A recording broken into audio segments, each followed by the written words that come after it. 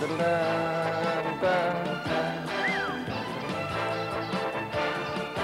usual, the one-man singing. Hello and a very warm welcome to this week's Scene on 7. My name is Steve Brennan. Now then, if you're having the week off as part of the Easter holidays, then I hope you're having a wonderful time.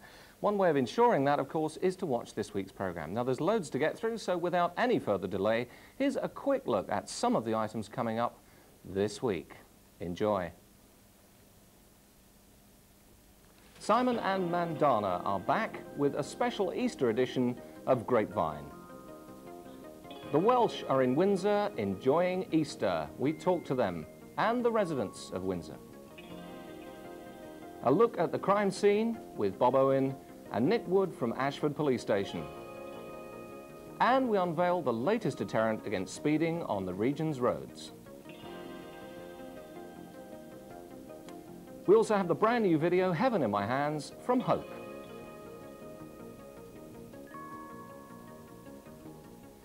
My guests this week are David Hood from William Hill. We'll be talking about betting and the Grand National, and Maria Davis from the Cable Corporation.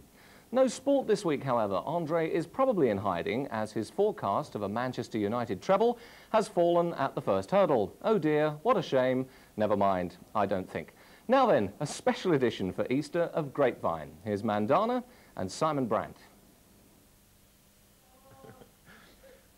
Hello and welcome to a very special Easter edition of On the Grapevine. Yes, WMTV has blown the budget and um, we've still got to put up with the trees in the background of Scene on 7. Mandana's with us. Welcome back. Thank you. What have you been up to? Uh, quite a bit. Quite a bit. That's your normal Well, I'm not vagarism. going to tell you right now. Well, I like as long to as you were a bit- clothed, as long as you were clothed, well, I was, but I like thing. to remain a bit mysterious, you know how it is. Mm. If you fancy visiting Thorpe Park this Easter, then there's a new ride you can try out. It's the Chief Ranger's Carousel, and it's all part of the new attraction there called Ranger County.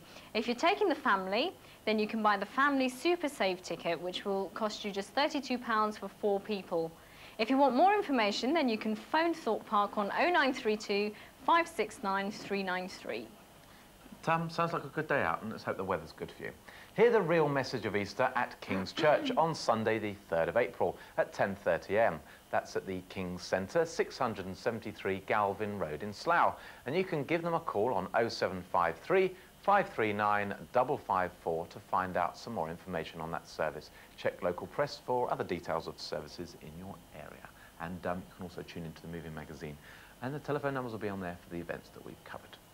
Right, well, Fun and Frolics is the name of the game at Sounds Bracknell. Ice Rink over the Easter holidays. From now until the 11th of April, there's discos every Monday, Wednesday and Friday. There's the obligatory bouncy castle, as well as loads of competitions and prizes. The fun takes place between 11 and 4 p.m. every day midweek. And if you want to pay a visit, you can find the ice rink at the John Nike Leisure Sport Complex. That's John Nike Way in Bracknell. So, Colin, when was the last time you were on a bouncy castle? Oh, going back a few years. Oh, well, never Rather not mind. say. Why not visit Sunbury's walled garden this spring? That's at Sunbury Park, Thames Street. It's a delightful walled garden displaying numerous styles and plant collections and is open daily from dawn till dusk. And Granny Brandt's paid a visit to there and um, Has she can recommend it. And um, How is your granny? she's very well, actually. Oh, good. She's um, still, seen still her in the land of the living. We haven't um, quite got rid of her yet and the plants haven't It's a nice way of her. putting it. But uh, she shall be back on your screens at some point this Oh, summer. good. Right. Now, if you're uh, paying a visit to King Edward Court in Windsor to do a bit of sh Easter shopping, then there's entertainment laid on specially for the younger shoppers. On Saturday, the 2nd of April, there's Crump the Clown, while on the 5th of April, there's a visit by Happy the Clown. And the performances take place in King Edward Court at 11.30, 12.30, 2 and 3 p.m. However, if you're shopping in Slough, then you can meet Busy Bee no less at the observatory on Saturday between 11.30 and 3.30. And while you're there, Star FM are collecting Easter eggs for charity, so you can take them along to the Star FM reception on the upper floor of the observatory. So if I took an egg, I'd probably eat them before they got there. Anyway, that sums me up really, doesn't it? That's something else. Anyway, about. something that um, is close to my heart. The Feathers in Laleham are holding the Southern Counties Regional Ale Festival. That's from now until April the 7th. There's great food and beer with no less than 17 real ales. For more information, dial 0784 453 561. That's if you're sober enough to dial the number. wouldn't say that. The recently opened Art Centre in Staines at the Old Town Hall is holding an event called Jazz Underground. The box office number is 0784 461 617 and some of the events to look out for include Annie Whitehead's Rude and on Sunday the 10th of April the Byron Wallen Quartet, excuse me, an acoustic group continuing the trumpet legacy of Dizzy Gillespie, Woody Shaw, Clifford Brown and Lee Morgan. Tickets are £4.50 or just £4 if you're a member. Doors open at 7.30pm and it all takes place in the Cellar Bar. Mm, it's a really good atmosphere down there, actually. Nice. They actually, they're going to have um, courses as well. And You can go along and have a few lessons beforehand for a small fee, and then you have a jamming session afterwards. Oh, right. That Sounds sounds good. Yeah, sounds Yeah. good. If you're off to London over Easter, why not visit the International Spring Garden Fair at Olympia, which is taking place until Monday, the 4th of April. Tickets are £9 and you'll find everything you've ever dreamed of for your garden, apparently. The event takes place between 9.30am and 6.30pm every day. I think it's till 5.30 on the Monday and you can um, buy all the plants on the Monday. So if you're tuning in and you're watching this on Tuesday, Wednesday and Thursday, my apologies. You've missed out. You should send Granny over. We She'd love Granny. it. She'd have a Yeah, she'd spend loads of money she? though. Right. Well, here's another Easter idea. Why not join in the Easter activities at Hampton Court? There are guided tours of the gardens, and on Bank Holiday Monday, you can see inside the palace glasshouses. There are also several costumed events. Phone 081 781 9500 for more information. That What's- lot out there are getting I a bit know, devious, they're, aren't they're, they? um, they're suffering from an insanity, bless I know. them. Never mind. Shame it was not amnesia. Anyway, I shouldn't mock the afflicted. Um, let's just say very quickly that it's very worth going to Hampton Court because Oh, um, if you want a good day out and you want some fresh air and you've just stuffed a massive Sunday lunch, you can poodle around the gardens and um, doesn't cost you a penny. Anyway, great to have you. Thank, oh, thank you. not literally, I hasten to add. But um, let's say goodbye on that happy note. Well, it's been And nice uh, being one day we may get to be work together. Goodbye. on WMTV. Soon, soon. And it's that camera. Wrong It's that camera. No, never mind. You can forgive Got us for that. We've got the right camera. Bye-bye, and now back to a professional. I'll get him one of these days. Thank you, team. A professional indeed. So now you have a whole lot of things to choose from this Easter. Thank you, Mandon and Simon. And if you're taking a trip to the betting shop, you may want to pay special attention to what my first guest has to say. He is David Hood, and he's the Public Relations Manager for William Hill. David, welcome to WMTV. How are you, Steve? I'm great, terrific. Now then, we've got a, a fabulous game to give away. Uh, we'll, more about that a little later. The traditional image of bookmakers, um, I think it's fair to say, um, sort of over a period of years, has been one of smoky rooms, paper-strewn floors, uh, beer bellies, that sort of thing. Now, William Hill is at the forefront of changing all of those uh, things. Now, how have you gone about it, basically? Certainly one or two ladies visiting the shop now that uh, wouldn't want to have beer bellies, I don't think. no, we're, Or builder's bum? Or builder's bum, Right. whatever. We're, we're, we're spending a lot of money updating our, our premises. Basically, we have to compete in the leisure market now. We spend on average 8 or 10 million a year um, refurnishing our Just shops. Just on the premises? just on refurnishing the shops. Um, we have a lot of no, non-smoking shops now. We have a lot more seating available. Um, the actual information and, and the visual aids for the punter are much better with the screens and, and obviously uh, in the last decade with the advent of SIS, they can get the, the pictures straight from the racecourse um, as opposed to just audio, which they had That's to satellite information systems. That's right. Yeah. Um, and of course, we get racing now from all over the world, not just the UK, but France, America, South Africa. So I mean, it really is a truly international sport. Now, the, the, betting, the law has slightly changed about the betting shops are open till 10 o'clock at night, is that? That's right. Deregulation is, is creeping in bit by bit.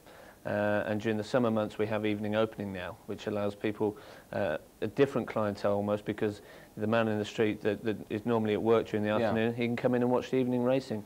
And Now, the evening racing you've got now at Wolverhampton on the, is it the all-weather track? That's right. Um, so that they can also bet on that live in the evening as well. Not at the moment. Um, the legislation only uh, allows for opening between, I think it is the 1st of April to through to the end of the evening opening season. It doesn't coincide with Wolverhampton. At the moment, Oh, well, at never mind. Perhaps it'll happen one day.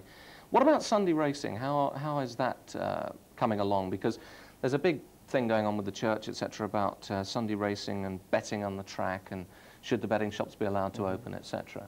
How's that going to affect you? I don't think you can have one without the other Sure. because uh, without a shadow of doubt, what betting shops does is bring the product to the people. And what racing is failing to do at the moment, to, to a great degree, is bring the people to the product.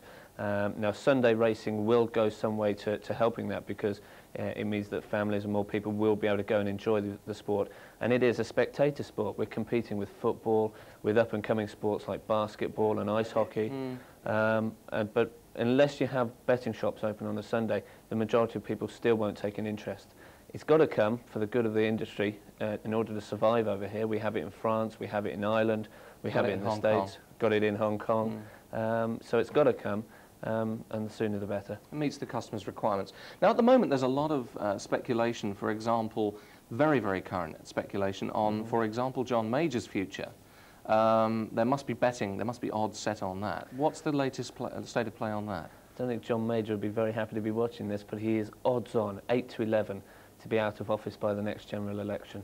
Um, he's not a very popular guy at the moment. I think within his own cabinet, indeed, uh, the gentleman that's, that's um, the renegade that's caused all the problems this week, uh, Tony Marlow, he's a 100 to 1 chance at the moment. And who's uh, tipped uh, to replace him? Kenneth Clarke is, is pretty much touted around as being our next leader, I think, of, of the Tory party. He's an odd shot, he, he was an odd shot at 4 to 6. He's actually just uh, easing to even money. But um, he's most people's idea of the next Tory I'll leader. take him to an image consultant before he becomes Prime Minister. Um, people bet on just about anything, the weird and the wonderful.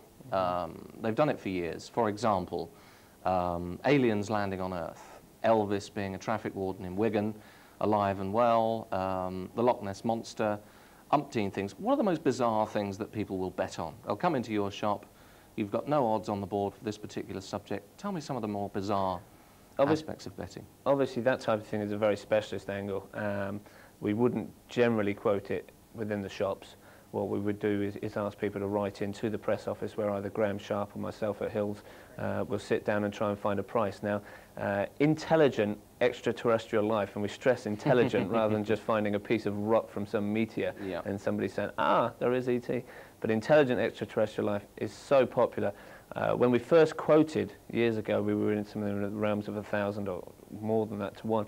We're now down as low as 100 to one, simply because of the weight of cash uh, and the, the advances that science makes. I mean, NASA have several programs looking for intelligent life, extraterrestrial life, um, and some people think it's just a matter of time. The emphasis used to be based solely on, for example, greyhounds uh, and racehorses. But people are betting on all sorts of other sport now. Mm. Um, tell me about the most popular of those. By far and away, the most popular is still football. Yeah. Um, I mean, we offer a range of bets on, on soccer that they, they can't get with the, the general pools companies, particularly on individual matches. If there's a live televised match, then we, we, we'll offer a range for the first goal scorer, obviously for the winning team, for the correct time score. Of the goal. Not so much the time of the goal, but for, for the actual who scores it and, you know, right. um, there are a range of bets there and they can have individuals. And then of course there, there's different sections lists on our own coupons throughout the shops where people can have doubles and trebles for their homes and, or away wins. Um, and that is very very popular as all sports are. I mean at Hills we have the um, we're the authorised bookmakers for uh, the WPBSA so we're, we're at all the snooker tournaments. Again for the PGA we're at all the, the Volvo golf tournaments. And in fact we broke history this year in 93 we were the first people ever to be allowed to make a book at the Ryder Cup. Right. Um, and there was phenomenal interest because we had a, a huge betting marquee there. And the Americans don't have this type of activity, of course. And we were inundated. They were coming in with the camcorders and the cines, uh, and they couldn't believe that they could walk in, one, have a bet on the tournament, and two, not only that, but stand there and watch the racing as well. So you took some dollars, huh? we actually paid a few uh, a few pounds out because I think if you remember the result went the wrong way for us. It certainly did. Yeah, I'm, I'm not not don't want to talk about it. Very upsetting. very upsetting. Um, so your biggest day of the year is coming up soon, the Grand National probably, where people who wouldn't, let's say, normally bet, the housewives, the, the average man in the street who doesn't bet all year round, there are some serious punters in the nation, um, come in and, and lay a few quid on Lester or whoever their favourite is at the moment. Is Lester still their most popular bet? Not for the national, but he probably would be for a derby. Right. Um, because he's not riding in the national. I didn't know that. I'm sorry. I think in actual fact, um, not a lot of people know, but Lester, Lester did ride winners over hurdles, mm. over jumps. He yeah, actually he won a triumph hurdle. Um, he's a granddad just recently, or he's a father again, I should say, just recently. so uh, there's plenty of life in him still, but I don't know whether the national fences would phase him It is by far and away our biggest day of the year. I mean, it, it, we turn over on the National Day double, for instance, what we would turn over on Derby Day. Right. Um, What sort of money is bet on the national on, on National Day? What sort of money would William Hill take en masse over the counter? Well, we would expect this year, hopefully, to break all records with, with the fact that the extra interest there will be in the race. We'd look to ex it, to take in excess of 15 million this year on, on National Day, um, which is a phenomenal figure. Now we've got a. You've offered us a, a very very nice prize, a very special prize. Um, it's actually it's a 25 pound bet on charity uh, for the charity of, of the viewer's choice. Uh, we've got a very simple question, uh, which we actually set last week, but just to re-emphasise it, what's the question? Well, as most people would know, Aintree is uh, the home of the Grand National. Um, what we'd like to know is in which city is Aintree? In which city is Aintree? Right, really, really good one. But we also have a very, very special prize for you, and I'll come to the question for this prize in a moment. As well as winning the £25 to bet on charity, you must have played this game. I've had a look at it. This is a wonderful, wonderful game. Um, this is called the really nasty horse racing game. Now, I'll give you a brief guide to it. You've obviously seen it before. Generous George is the betting, uh, is the, uh, the, the bookmaker. The bookie. Uh, he used to work for William Hills, but he was fired because he was, he was bent. But what we're going to do, sorry, what we're going to do is you roll these dice, basically like so. Um, obviously, each player gets only two. Uh, and you move around the course, um, early pace, uh, and then finishing well and up. Obviously, they come around that way, quick and what, fast and, uh, what did I say? Finish well. And then there's the finish. There's fences, and all these cards have got little trip-ups and bonuses, etc., etc., etc. Um, every player starts with £20,000. I think it's a great game. It looks like an intriguing way to lose your shirt, doesn't it? It, well, really? you don't lose your shirt, but apparently, I have it on very good authority from um, from Tony, who uh, uh, from, from Tom, sorry, Tom White, who uh, invented this game. Uh, the company's called Upstart, and what they did, they get feedback from people saying that you know men have had to sleep on the couch because of the rows that ensue. People take these sort of games very, very seriously. Uh, so what we're going to do is we have uh, three of these to give away. One is going to be combined with um, the prize that you're offering, £25 bet on the Grand National. It is a fantastic game, and it'll keep you amused for hours, especially in the winter when racing's cancelled so often with frozen, frozen ground, etc. Whatever else. Can you bet on that, by the way? On racing being Yeah. No, because what we tend to do, obviously, there's all weather courses now, uh, and also we draft in the racing from South Africa. So uh, there's always plenty of activity to keep the punters happy. Right.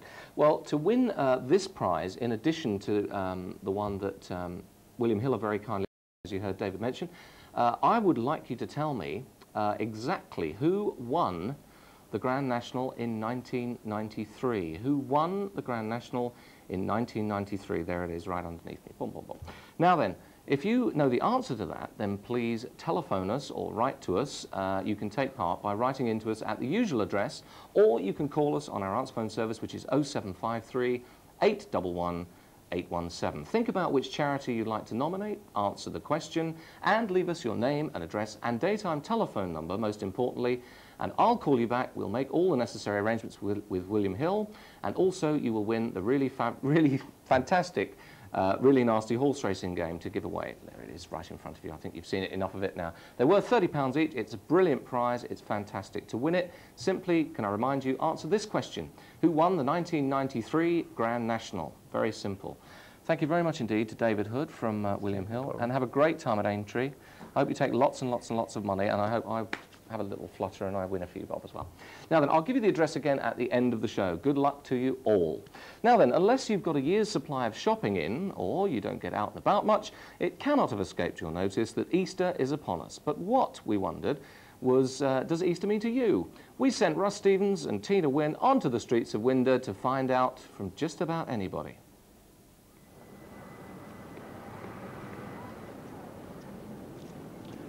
Crowd at WMTV have let us free for the day, and we're in Windsor to find out what the Windsorians think about Easter. So come on, let's go and find out and see what they've got to say.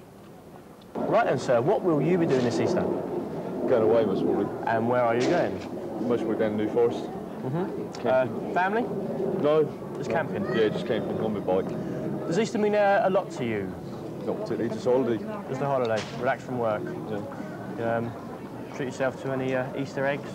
Oh yeah, do the general sort of thing, you know. Right. Yeah. Totally pig out, really, do you? Yeah, yeah. But basically just holiday, really. Would you say that Easter is uh, fairly commercialised?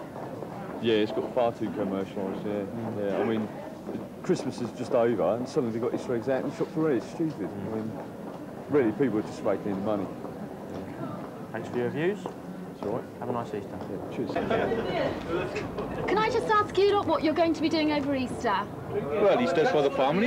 So will you be spending it with your family? Yes. And will you be buying Easter eggs and hot cross buns? Well, I'll be buying Easter eggs for the children. And how about you? On tour. Going to work? On tour. Tour the Penzance. Oh, right. Rugby tour. Oh, I see. Do you like Easter? Do you think it's become too commercialised these days? Uh, to be honest, the last three, four Easters I've been away on tour with the rugby club. So I haven't been home All for rugby Easter. teams go on tour at Easter time, see?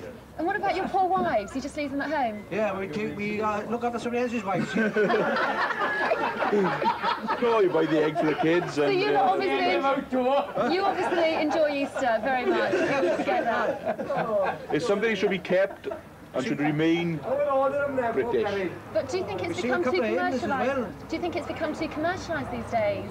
yeah, there's a lot of people making money at Easter now, and uh, perhaps it's a good thing. That's a bad thing, like, you. Right. Well, as long as you keep it going, it's same as Christmas. Has Christmas become too But we know, commercialised? we know what it's all about, Easter, anyway. We haven't gone off the wrong, wrong track, like. It's always in the back of my mind what Easter's all about, you know. Good. Oh well, You're not lost. Chris, You're in the Easter, God Squad! Easter's a different date every year. Now, Christmas Day is always the 25th, but Easter is different. Yeah, but Easter is always there, and that's the main thing about it, isn't it? It's the same you celebrate it as Christian, holiday. what have you. It's an That's a good holiday. holiday Well, I for hope you enjoy your tour and thank We you very will. much. Here. Oh, Can I just ask you two, what do you have in those bags Easter eggs for all my friends. for your friends? Yes. Do you like Easter time? Yes. What do you actually do at Easter? Sort of like uh, stay with my family and go out with like my boyfriend and that. Are you buying out anything? Oh, it's one of these eggs for your boyfriend. Not yet, no. Will you be sending him a card? yes. And how about you? What do you do over I don't Easter? celebrate it. You don't celebrate it? Why not? It's not my religion. So tell me, what will you be doing this Easter?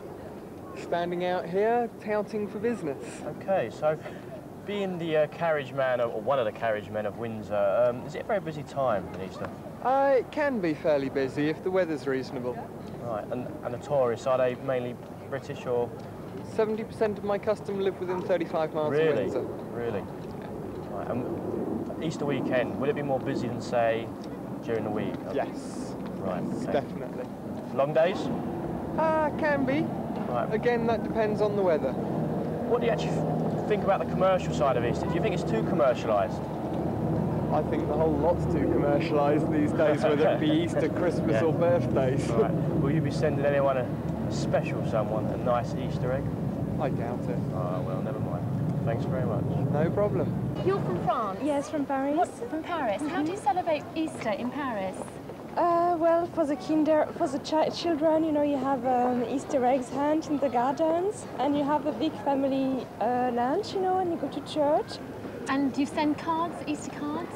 Um, I think in England you have a bigger selection of Easter cards. You know, we're not very big on cards in France. And you have a special meal at Easter time? Yes, yes, yes. And everybody gets together, you have a get together, yes, it's mainly uh, a family celebration. A family celebration. Will you be sending a Chris, an Easter card to anybody or a Uh, from Easter here, egg? From here, yes, yes. you will be. probably, Are you here for Easter time in Windsor? Yes, Are you, have you visited the castle? No, we're just going to the castle What now. do you think of Windsor? Do you like it? Oh, it's very pretty, especially when the sun is out. It's, uh, it's wonderful. Oh, well, I hope you have a nice Thank you. Easter. Thank you very much. Right, tell me, what does Easter mean to you? Chocolate. Chocolate. Is Yes. that all? Chocolate. yeah. What about school holidays? Yes, We don't have them. Well, you have a week at least, don't you? So uh, you'll be going out with your friends and Yeah. what you'll be doing over Easter with your friends. I'm going on holiday, I. Where are you going? Maybe Spain. Very nice. And that's for a week, is it? Yeah. Right, okay then. Right, well, thanks very much. Hi, what are you going to be doing over Easter? Oh, well, I'm going to go to my country. That's in Sri Lanka. Oh, right. How long are you over here for? Uh, for three years to studies. Oh, I see. Do you celebrate Easter? Yeah, of course, yeah. What will you be doing? Well, back home, yeah, make Easter eggs and having almost what you all do here. Do they have hot cross buns in Sri Lanka? Well, no. what do they have instead? well, I mean, What will you be eating as Well, Easter treat? uh, well, it differs, yeah, because it's it's a different culture altogether. But uh, we do celebrate Easter. But do you think it's more commercialised in this country? Yeah, that is It true. Yeah, it is. Yes. Do you wish it was more commercialised in your country? No, I don't think. No, that's you don't what like we it? Have, we made it suits uh, suits us, yeah. So I don't think. Uh, Okay, Darren Birch, what will you be doing this Easter? Well, this Easter we're going on a stag do. So we'll be in Bournemouth um, buying plenty of Easter eggs and um, other things and um, doing silly things like boys do on stag do's. Who's stag do? Matthew Thurston. Uh, is- so is he here? If you're watching this, Matthew, we're going to tie you to the lamppost, we're going to rip all your clothes off, cover you in shaving cream, and we're just going to shave your eyebrows off, and we're going to do a lot more, a lot more. and this We- is the man that's going to be tying you to the lamppost. Graham Graham Brian Brown. Brown. Graham Brown. Brown. Brian. Graham. Graham. Graham. Just for the Graham. Graham Graham, Brown. spell Right, it Graham out. Brown. Brown. I presume you'll be there too. Yeah, I'll be there. So, uh, There's 16 of us. Okay. So, And you'll be eating loads of Easter eggs. the way Over that you- Easter. All bought Um, from Woolworths. Right. That is the place to Windsor High be. Yeah, it's the place to be. No, I like Easter because it's it's it's totally religious. I mean, I like watching Jesus Christ Superstar. Right. Hi, what do you think about Easter time? Um, it's like a time to say sorry for everything we've done wrong. To say sorry. Have you done lots of things wrong then? Well, not too much. Do you go to church at Easter time? Yes, I go to church every Sunday. You go to church every Sunday. And uh, have you got some time off as it's Easter? Yes, I break up from school next Thursday. How long do you have off? Two weeks. Two weeks off. Wow, what are you going to be doing in that two weeks? We might be going away. Where might you be going? Um, we might. We're thinking about going to France. Oh, lovely. And so will you be taking your Easter eggs with you and opening them up on Easter Day? Yes. Do you always have Easter eggs every year? Yes. And do you have hot cross buns? Yeah. How about you? Do you have hot cross buns? Yes. And Easter eggs? Yeah. What are your favourites? The chocolate or the milk chocolate or the white Choc- chocolate? normal chocolate. Just normal chocolate. And Yeah. um, so what are you going to be doing at Easter time? Um, just staying at my house and my family Staying at home, relaxing with your friends. Very nice. Okay then, well thank you very much. Bye-bye. So, uh, What do you think about what? Easter. So, Easter, I love Easter. do you? It's a very Yes. important time of the year for you. Most important, yes. Lovely spring festival. Absolutely. yes. Thoroughly enjoy it. Uh, do, I you don't know why anybody shouldn't. do you attend church? Yes. Easter Sunday, very yes, important day. Yes, I do. So you're very religious. Oh, I think it's a wonderful time. Right. People miss an awful lot.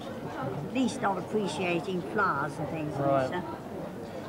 So what do you think about the uh, commercial side of Easter? Well, it isn't as bad as Christmas. Right. I think Easter is a nicer time for that reason, really, because it doesn't start so early. Because Christmas starts in about September or October, and um, Easter's very much better. Good night, sweetheart. Well, it's time to go. Good night, sweetheart. Well, it's time to go. I hate to leave you, but I really must say, good night, sweetheart. Good night. Good night, sweetheart. Well, it's time to go.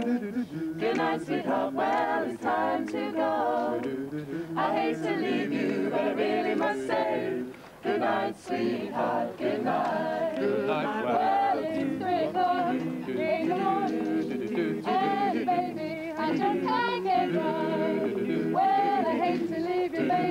I don't mean because I love you so. Good night, sweetheart. It's time to go. Good night, sweetheart. It's time to go. I hate to leave you, but I really must say, good night, sweetheart. Good night. Good I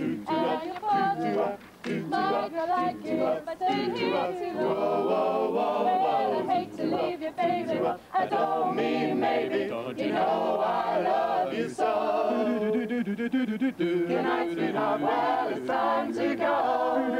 Good sweetheart. It's time to go. I hate to leave you, but I really must say, good night, sweetheart. Good night. Good night,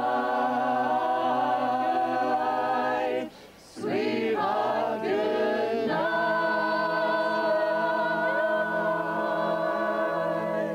Right, tell me, what does Easter mean to you? It just means a break to me, quite honestly. If I said Easter, what does it mean to you? Um, Easter eggs and going to church on Easter Sunday. Is that what you're going to be doing? Yes. Thank I you. Am. How about you? What are you going to be doing over Easter? Um, I'm staying up here, going up to my boyfriend's going to church. Buying Easter eggs? Hopefully not. No? How about you? Are you going to be eating hot cross buns? I'd imagine so. Yes. yeah. And sending out any cards for anyone? Yeah, my nieces and nephews, I think. Right. Would you like to say hello to anyone out there and wish anyone a happy Easter? Um, well, just all my family, all my friends, and everybody who believes in God. So tell me, young lady, what does Easter mean to you? Happy time? New, I don't know, Spring. spring. What about the children? They like it too, having Easter eggs. Do you find it rather expensive at Easter? Not really, no. You basically just buy the, the children Easter eggs and uh, relax. Yes. Do you, do you go to church or? No. No? No. Okay, well that's what the Windsorians think of Easter. But what I'm dying to know is what's Russell going to be doing this Easter? Let's go and find out. Russell. Russell, what are you going to be doing this Easter? Working. I'm not chatting her up for a start. How about eating Easter eggs and hot cross buns? Absolutely. Got to. But um, Part of my diet. do you have any room in there to fit any more Easter little eggs bit, in? a little bit, dear. And what will you be doing for Easter? Me, well, I've just bought a flat, so I'm going to be doing loads of painting and loads of decorating. How about a painting party? Yes, I'm having a painting party, so if you bring your Easter eggs along and your hot cross buns, you're welcome to come along. Right, from Windsor and from us, it's back to the man with the winceyette nightie and the Velcro underpants. Bye. Bye. I was waiting for the kiss at the end. Um, thank you, Russ and Tina. And if you want Tina's address for the painting party, I'll be giving it to you at the programme. Now then, I want to know what Russ said to get the slap in the face. Never mind, still on the subject of Easter, there's a wonderful offer at the Windsor Arts Centre on the 5th, 6th and 7th of April. For just £15, you can take part in dance, drama, music and arts. The days last from 10.30 in the morning till 3.30 in the afternoon, and there's a special performance at 4 o'clock on the last afternoon for friends and relatives. It's absolutely free. £15 for three days can't be bad. It's aimed at 7 to 11 and 12 to 14 year olds respectively. To get in touch with the lady who's organising it, her name is Joy. Call her at Feet First. That's 081 440 5545. Still to come on Scene on 7, the new video from Hope and your chance to find out more about two brand new channels available from the Cable Corporation. Join me after the break. Back soon.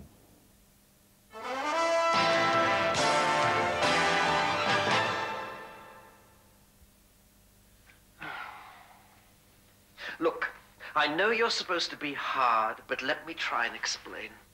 Giving blood is a very good thing to do. How can you be so, so cold about it? Don't you understand, without blood donors, there'd be no operations? Or treatment for blood diseases, or for burns, or for newborn babies? People with hemophilia would bleed to death. Am I getting through to you? I don't know, they were right. It's like trying to get blood out of a... Oh, thank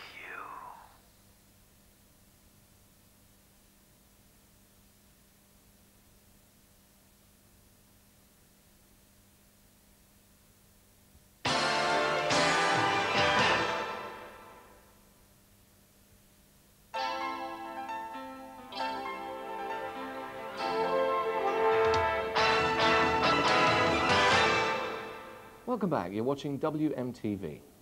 Now then, ever hopeful to please everybody and offer the ultimate in variety in television, two new channels are available from this week. Maria Davis is here to reveal all in just a moment. But first of all, here's what you can expect from the Family Channel. Coming up. To travel, Europe's brand new channel bringing you the world.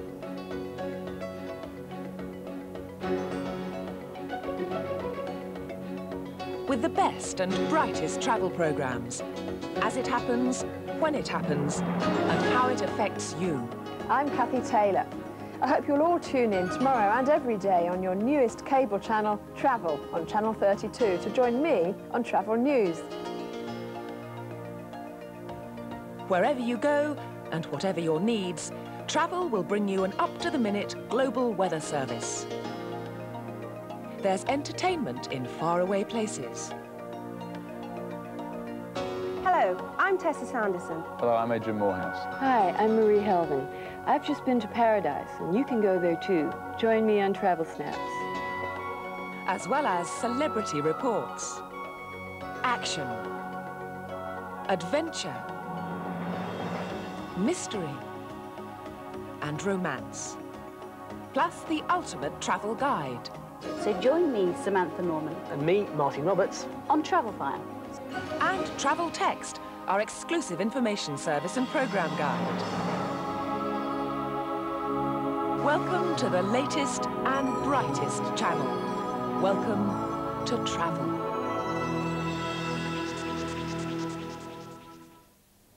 April Fool, I meant the Travel Channel. Okay, all right, I'm sorry, it was my mistake, not theirs. Uh, now then, to uh, tell me more about uh, the two new channels that are being offered to you, absolutely free, I might add, here's Maria Davis, who's the marketing manager for the Cable Corporation. Hi, Maria. Hi, Steve. Welcome to the studio. Thank you. Um, we're launching two new channels, uh, the Yep. Travel Channel and the Family Channel. How will they benefit the viewers? Well, we're always striving, as you know, Steve, to provide extra choice and extra value for our customers. Um, these two channels have, have been done after a certain amount of market research, um, and they'll be included in the package from this week. So it's more choice, more value, at no extra cost, as you say. With particular reference to what we've just seen for the Travel Channel, um, that's exclusive to cable. It is, yes. Travel's on a, on a low-powered satellite, so people who've got Sky dishes can't actually receive it at all. Serve them right. So it's another reason for, for staying as a, a customer of the Cable Corporation. Uh, we've had a, uh, a brief glimpse uh, uh, of what the Travel Channel has to offer, but the service is much, much more comprehensive than what we've seen on there. For example, Yes, um, I mean, travel programming is very, very popular, as, Yeah. as you know, and things like Wish You Were Here and Holiday achieve fantastic viewing figures here in the UK. Um, and that's where the idea of travel TV came from, really. Um, but it's not just travelogue programming. Um, you'll get the opportunity to follow Kathy Taylor as she goes sort of looking at news and views to do with travel. They cover the weather for all of Europe and the main resorts worldwide. You'll find programming that specifically looks at perhaps cooking or sports from different countries around Yeah. the world. So it's travel and associated activities, really. and of course the fact that it's in, a, in, a, in the format of being a channel rather than a half-hour program, Mhm. it's much, much more comprehensive. Absolutely. And there's also a text service. There is, yes. The tech service that backs up the channel has got all of the information about the countries and holidays that are featured in the programming. So it's a useful source of, of reference. And even bigger and even better than Wish You Were Here in the holiday program, um, as an added incentive, as if it's not already watchable enough, um, there are some fabulous competitions. There are. There are all sorts of big competitions every single week on the Travel Channel. I mean, thousands of pounds worth, and you can win holidays all over the world. I take it we can't enter, can we? Well, you never know. As as part of the launch process, um, the Cable Corporation is, is running competitions with some of the local media. So we're running a competition on Star FM and with the Slough Observer and the Maidenhead Advertiser. to win um, thousands of pounds worth of holidays to, to get win a tan one before all holiday the in each of those. So um, our viewers should, should look out for those. In addition to that, um, there's the simultaneous launch of the Family Channel. Yeah. Now, the content of that is, is quite broad, isn't it? It is. I mean, their, their aim is to provide general, all-round, good fun family entertainment. So, as well as dramas and, and movies, you'll find quiz shows. Um, they're making a version of, of Catchphrase, which is a very popular quiz show on ITV, but this is for whole families at a Right. time. So that's a, a variation on a theme. And also, uh, the, the very popular Tony Slattery is doing a version of Trivial Pursuit. Which Hopefully proving that's a family version as well. We, Yes. we hope, we hope, we hope. Um, also, there, there is um, specifically made documentaries That's right. from a family point of view made by National Geographic. Um, and he looks at his notes to find out some more. Um, there's specially made family movies. That's right. You, you'll, you'll find that there's a a mixed variety of programming, both from the States, from Australia, uh, and also programming that's been made here in the UK. Um, and we're seeing some reruns of popular old uh, programming as well. We've got Remington Steele coming up and also Cat's Eyes with Jill Gascoigne. Lovely lady, very nice lady. Now, the other thing about uh, the Family Channel is that because these programs are specifically made for that channel, the parents could leave the room, leave the house if necessary, and feel perfectly happy that they've been edited especially for family viewing so the children can watch everything that's on Well, there. that's right, yes. Uh, basically, you can really leave your kid, kids in the, the secure knowledge that they're not going to see any violence um, or bad language. So, you know, it- it's all good family viewing. Hmm. Right, now, Finally, Maria, how would you sum up the two channels? I mean, we're offering two new channels. It's a, it's a very comprehensive service, as I think you've explained in some detail. How would you sum them up? That's right. I mean, that, I just hope that the customers will enjoy them. There are some more details in our uh, Cable Choice magazine, which customers Right. should have had over the past week or so. Um, Are they in the cable guide? you'll find, um, I think, travel in the cable guide and family in the cable guide from next month. Right. Um, as, they, as they come on that's right. There are programming details in the program guide that's on screen. Right. Um, and we'd like to hear customers' reactions to them, really. Um, if they can write in or call into customer care, we'd be happy to hear their views. Right, and the customer care number is 0753 810 707. That's 0753, there's the number right there. 810 707. That's customer care, and they'll be happy to talk to you about any aspect of the Cable Corporation, but particularly what you feel about the Family Channel and also the Travel Channel. Thank you very much, Maria. Here's what you can expect from the Family Channel. Now there's TV entertainment that everyone can enjoy. The Family Channel. Drama. Comedy. Adventure. And familiar faces all in one great package. The Family Channel broadcasts from an 11-acre studio complex in Maidstone, Kent. Soon to have its own dedicated satellite uplink. Programs include drama series made exclusively for the channel, or as co-productions such as the swashbuckling action-adventure Zorro. I want that reward money, son. The early days of Spanish Los Angeles are recreated on location in Spain, while from the other side of the world, the award-winning Australian medical series GP. Dr. Michael Terry is a tough psychologist who takes problem kids from the crime of inner cities to discover a new life on his ranch in Neon Rider. Torpor? Why did you do that? Because they're your parents. They care. Snowy River, the McGregor Saga, is a prestigious Family Channel production set in Australia's pioneering days, exploring the tensions and greed of a new land. Very soon, I will own Luke McGregor.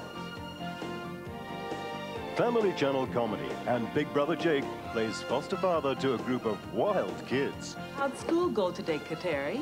I am so good, it's scary. We really have to work on this confidence problem of yours, Kateri. And Burt Reynolds has oddball neighbors in Evening Shade. Who to remind you? A middle-aged mutant ninja math teacher.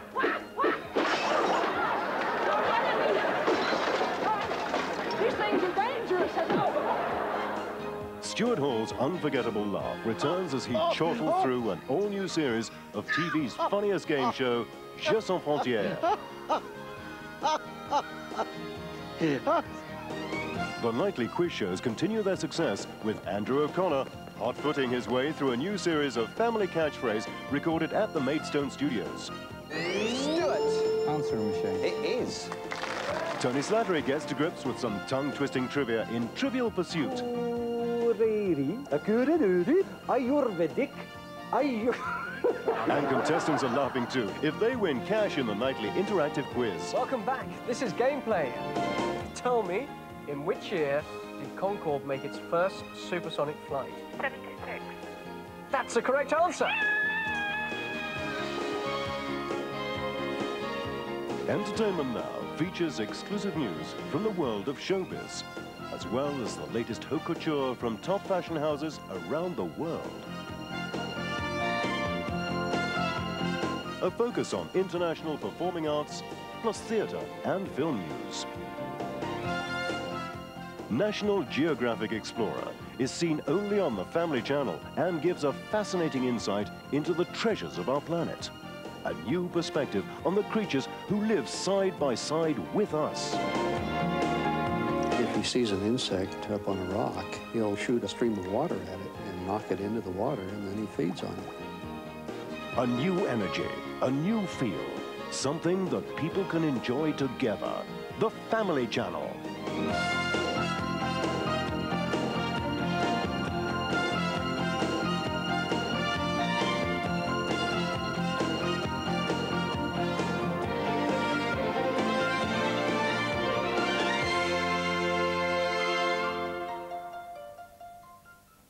Looks great to me, I must say. I think Yes. it's really worth it. Now, one thing we forgot to mention, the reason we sort of kept you here for another couple of minutes, is that um, it's a knockout as part of this, and know, it's great to see it again. isn't it? Yes. Wouldn't you just love to have a go? What happened was when it was sort of canned here in the UK, the Europeans are also enthusiastic about it. They've kept it going. Jeux sans frontières. Absolutely. And Mr. Stuart Hall's gone out and done all of the, the commentary on them, so they'll be Brilliant. brilliant, fun. So, as well as watching Jeux sans frontières or, or It's a Knockout, you get Stuart's laughter all the way through the yes, programme. which is it's, even funnier than the game What a job, paid to laugh. Thanks again, Maria, for sparing the time Thank to uh, come over and see us. So there you go, more choice and great value uh, for cable TV. Don't forget that number if you'd like to talk to customer care. It's on the screen right there. 0753 810 707. 0753 810 707. And thanks again to Maria. Crime now, and twice last week, St Mary's Church in my own village of Harmondsworth was the target. A specially commissioned stained glass window in memory of a former parishioner was smashed to gain access, uh, access, access to the picturesque church. Nothing was stolen, and a few days earlier, someone broke in through the church hall, and once again, nothing was taken, completely senseless. The Reverend Harry Bolton uh, said a few would disagree with what he said. Also, you just wonder what drives these people to do such things. I would like to ask them why they do it. It begs the obvious question, is nothing sacred? Time to meet the people who have to track down these idiots and deal with them. Yes, Inspector Bob Owen and Sergeant Nick Wood from Ashford Police Station are back with Police File.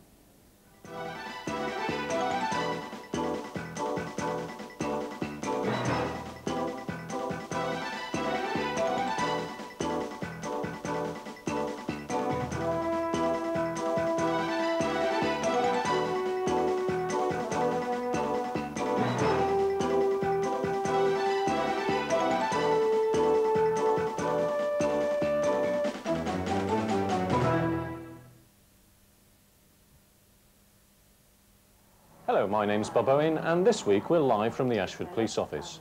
Nick Wood's got a couple of items this week, but let's keep him in the cold while you get your pens and paper out. We have a number of crimes that we need your help with. First, a burglar who stole a number of valuable and sentimental items from Chesterfield Road in Ashford. It was about 3.30 p.m. on Friday the 18th when a white man, about 40 years old, with brown hair, long at the back, wearing a blue jacket and jeans, deceived the occupier, then burst his way in. He took a lot of personal jewellery, and he was also described as having scars on both sides of his face. Did you see him or his partner in crime? If so, ring us now on 0784 421 409. The next item is a very nasty attack happened during a mass punch-up at the Dog and, Dog and Partridge pub in Staines on the evening of the same day, Friday the 18th of March. About 10.30pm, a fight broke out between two gangs, and two members of the public were taken to Ashford Hospital with some nasty cuts from beer glasses. Were you at the pub? Did you see this fight? Who started it? Ring us now on 0784 421 409 with, with details. Do you know somebody who's a fence in sports gear? Who's been knocking out baseball bats, squash rackets, Man United and England football shirts, and Puma footballs? Well, the chances are he got them from a smash and grabber who struck at Sunbury Sports Centre at Sunbury Cross, which is at the start of the M3, just before midnight on Wednesday, the 16th of March. Have you been offered this gear? Do you know somebody who's got it? Ring us now on 0784 421 409. And now over to Nick, who's going to tell us about Mousetrap, but without the cheese. Nick. Thanks, Bob. I'm out in Church Road, Ashford. In this road alone, during 1993, nearly 60 pedal cycles were stolen. Regular viewers will be aware of this continuous problem, which we've mentioned many times before. Hard on the heels of our Rat Trap initiative to catch the car thieves comes the Mouse Trap. To catch the local bike thieves, we've started putting decoy bikes out in high crime areas such as this. Plainclothes officers watch the bike from nearby, and when the thieves strike, so do we. Mousetrap has only been operating for a few hours, but already it has resulted in two arrests. Fueled by the success, we intend to extend this operation throughout Ashford and Stanwell. Some people have said this is unfair to the thieves, but we say that anything is fair if it keeps our streets crime-free. Stealing, from, stealing bikes from Ashford and Stanwell is now even more risky for the thieves. Now let's have a look at our extra security patrols in the wake of the Heathrow mortar attacks. I'm at St Anne's School in Clare Road, Stanwell. Since the recent attacks, many local people have been asking us at Ashford what is being done to prevent further incidents. Here is part of the answer. In addition to extra foot patrols, we've been operating in Colnbrook, Poyle, Stanwell Moor and Stanwell. We've asked the mounted branch to work in this area for a while. Each day they come to a different school near to the airport and patrol the large open spaces which cannot be covered easily on foot. Crispin Harding Rolls, you're one of the mounted officers on these patrols. Welcome to Spelthorne. Can you tell us a little bit more about your horse? This horse, he's called Timothy. He is a, a gelding. He's quite young, he's only five years old, and he is currently in his training before he comes a full-time, properly trained police horse. And whereabouts uh, is he normally stabled? Currently, he's based at a stables in Richmond Park called Thatch House Lodge with five other horses. Um, what sort of events do you normally get involved in?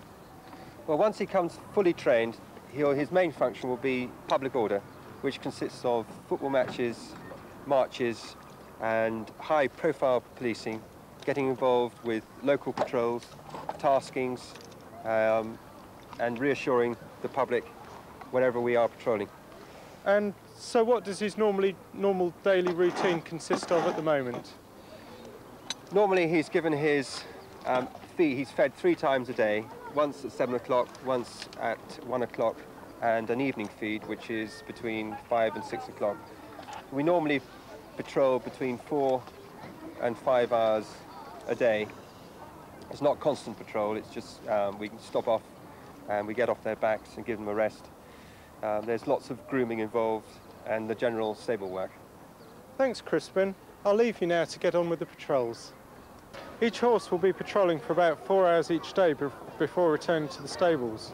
As a result, our open spaces will be much safer for us all. Now back over to Bob in, in his nice warm office. Thanks, Nick. And next, our regular stolen car slot. Pens poised? First, a white Austin Maxi LLX 361V. A blue Yamaha, which is a moped 50cc's D260JGL. And a blue Vauxhall Astra E418GLB. These cars and mopeds could be in your area. Have you seen them? If so, ring us with the details on 0784 421 409. Can you help us catch a robber? Were you near the Abbey National Cash Point in Staines about 7pm on the first Thursday in March? A number of people saw two criminals in the area. One had a knife and he had a red sweat top, red and jeans. Due to the brave actions of the members of the public and the lady who was robbed, the shoulder bag was recovered. Who is this robber? Did you see anything that could help us close the net on him? If so, ring us now on 0784 421 409. Detective McIntyre needs your help.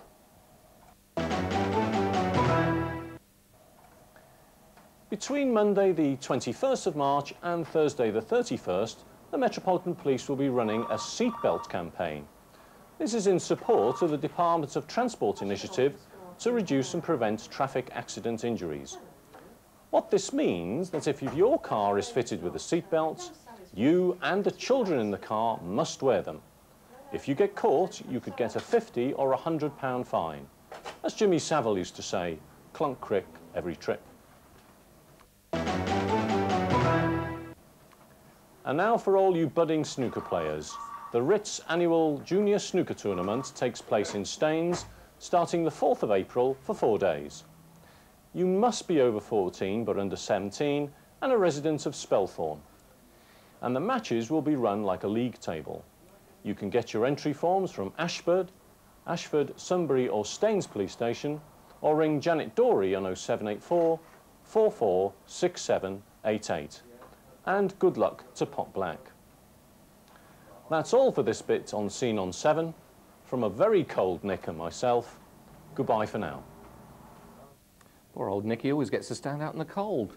Um, but there again, Bob is the inspector, I suppose. Thank you. WMTV is keen to report on technical innovations and at the forefront of the fight against motorway madness, in this case speeding. If you use the roads around the region, beware, because you could be one of the first to be caught by the seemingly innocuous cone. Over the past 18 months or so, we've been getting used to seeing roadside speed cameras telling us how fast we're travelling. Yet there's growing evidence we're getting too used to them, taking them too much for granted, particularly when it comes to obeying speed restrictions through roadworks.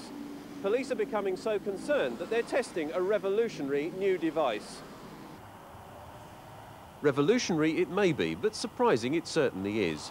This new speed camera comes disguised as an ordinary traffic cone. Motorists are set to face the dawning of a new age when too much accelerator will have the cones flashing back. Inspector Steve Thwaites is in charge of this experiment for Thames Valley Police. Steve, what benefits is this device going to give you? Um, the biggest that we've no, sort of seen at the moment is the um, the fact that it's so portable. We can move it from location to location, as opposed to the conventional uh, speed devices we've seen in the past, which are obviously rigidly fixed at particular sites. Doesn't that mean, though, if it's portable, it's easily stolen? That's obviously a concern we've got, um, and also the vulnerability of perhaps being hit by a vehicle, um, and that's something that the manufacturers are looking at, some form of tamper-proof device for us. Now, isn't this experiment tying up officers who would otherwise be dealing with burglaries and other crimes like that? Obviously, um, speed enforcement is a real issue because the number of lives that are lost, but at the same time, it's got to be balanced against the needs of those that are being burgled. Um, the beauty of this is it doesn't work on a film, again, like the conventional uh, cameras do, and therefore we're not tying officers up with that. It's much quicker and easier to operate, so in fact we can do the same amount of enforcement, if not more, and spare more resources um, for matters that are affecting people in their day-to-day -day lives. How much is this costing the council tax of the Thames Valley area? The beauty is it's cost them absolutely nothing because it is a new system. Um, the manufacturers are paying for all costs, um, not only the equipment, but all enforcement costs and prosecution costs. So in fact, whereas in the past the traditional devices have cost them a lot of money, um, this is actually costing them absolutely nothing, and obviously we're going to make the most of it. Carriageway Observation and Notification Equipment, or CONE for short, makes use of components at the leading edge of technology. Klaus Upschnapper, you're the inventor of this new device. How does it work? It generates an electric field at a frequency which can be preset like a torch. A speeding car triggers the flash. Uh, instead of a photo on a film, it takes an ionization image stored in this black box. So what advantages does it have? It gives a much clearer detail of the number plate on a car. No need to change film because there isn't one. Police can interrogate it by driving past in a car fitted with special transponder. That's a very simple uh, device. Where did you get the idea from? I've worked on radar systems for the past 25 years. I thought of the device when I was working on an underwater project to guard harbors and projects North Sea oil rigs. So why do you think that basically this is the device for the job? Because it's portable, can be used in all weathers, and like all good inventions, it's simple. Scientists are excited at this invention. The police are keen to see it in routine service. But what do the motorists think? I don't think it's quite fair to the motorists. You, uh, you don't really know if it's working, it's not working. Um, and besides, the old police car was a bit of fun, I thought. I think it's a good idea to have speed traps around, yes. I think, I think some motorists drive far too quick. Isn't it the sort of thing, though, you think you might get used to? Probably not. No, I think if you know that they're there, I think you will keep your speed down. Yes, I would anyway. I'd be wary. I'd have to be very careful myself, um, for obvious reasons. But uh, um, if it works, it's a good idea. And nowadays, But, of uh, course, people are getting used to speed cameras. So uh, do you think that's going to help them? Um, no, I think the, being in cones will catch people out. Uh, um, you know, sort of where they originally put the camera, the cameras, you can see. I mean, you see people slowing down. People forgot to know where they were. Um, uh, so I suppose surprise is the trick. The speed camera. That means you're going to catch me too, is it? that means you're going to catch me too. So involve it as well. Well, I think that would be a good system, you know, because you have these uh, young lads, you know, speeding away like they're mad, and they don't know what they're doing. Because vehicle is something that you don't have control on. You, when you think you have control, all of a sudden you're out of control. And there's where accident comes in, you see. Because you can control vehicle. You might think you can control vehicle, but you can't control vehicle, you see. So I think that would be a good idea. In traffic cones, I had no idea they were doing it. I'm taken aback, to be honest.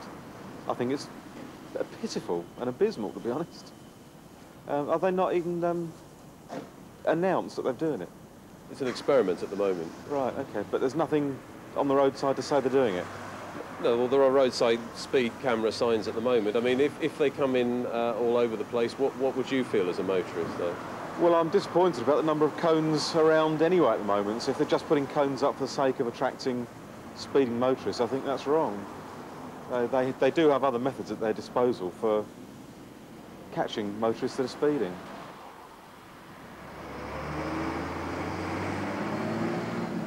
You've kicked them, you've cursed them, you've put them on top of phone boxes to try and get them out of the way. But just remember one thing. The cone always wins. Thank you, Tom. It never ceases to amaze me how upset people get when we interview them in the street. Especially strange when it's such an important step forward in protecting road users. Now then, without doubt, Take That are the biggest British music act since the Beatles, but the famous five are being given a fair run for their money by a Birmingham duo. They're hot, especially since their appearance at the Smash Hits Poll Winners Party at Wembley. Richard Davidson and Andy Rouse are the next big thing. They'll be joining me in the studio in the next couple of weeks. For now, you'll have to be content with their new single. Here's Heaven in My Hands. They're called Hope.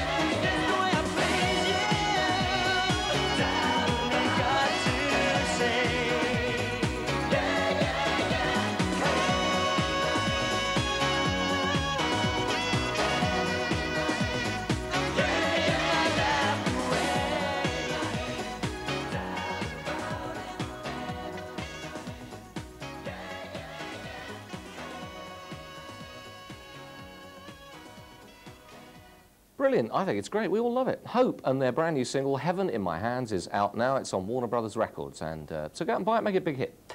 Now then, there we are. The Easter edition of Scene on 7 is almost over and not an Easter egg in sight. Or was there? Anyway, forget, uh, do not forget that we have uh, three really nasty horse racing games to give away. Two uh, separate prizes, and all you've got to do to win one of those is tell me which horse won the 1993 Grand National. Send your answers to the usual address, which is Scene on 7, WMTV, PO Box 7, Slough SL3 6ET. And the £25 charity bet, plus a really nasty horse racing game, can also be yours if you answer the other question, which is, uh, I've forgotten, no I haven't, it's uh, the Grand National is run in Aintree. In which city is Aintree Racecourse? Very, very easy. On that one, phone the competition line, which is 0753 811 817. That's 0753 811 817. Please inclu include in your message your name, address, and daytime telephone number. And the uh, question, just to refresh your memory once again, for the first competition is who, which horse, sorry, won the 1993 Grand National? More competitions, information and news from the region next week. Keep up to date with the 24-hour moving magazine service. Join me then. Have a great week till then and a very happy Easter. Bye-bye.